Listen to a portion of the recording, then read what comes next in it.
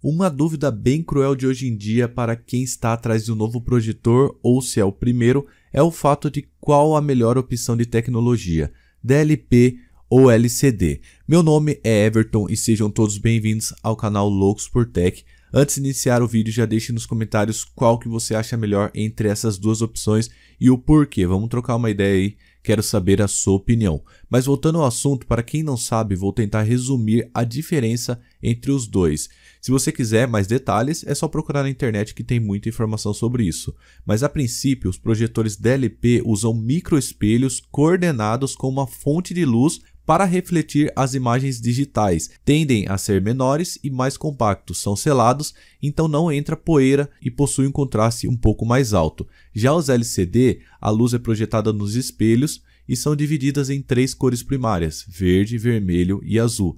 Tendem a ser maiores, a imagem e cores são mais nítidas, mais bonitas, brilhantes e com maior qualidade. Isso é um resumo bem resumido mesmo, pois é muito difícil e complexo de explicar exatamente como funciona cada uma dessas tecnologias, mas levando em conta essa base, vamos ver lado a lado como que fica a qualidade de imagem desses dois projetores.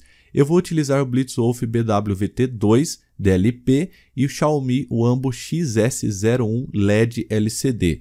Não vou comparar especificações a fundo, somente o fato que os dois são SD nativo, a qualidade de imagem dele resolução é SD, que no caso 480p, então ficará mais fácil mostrar lado a lado a projeção. De resto, o VT2 é muito mais completo, tem sistema Android, Bluetooth, Wi-Fi, ele é bem menor, porém o preço também é muito discrepante da Xiaomi. O VT2 custa mais ou menos mil e pouco e o da Xiaomi está custando menos de 400 reais. Então, cara, é uma diferença muito enorme, por isso que estou comparando somente a imagem para mostrar para vocês qual que é melhor, DLP ou LCD.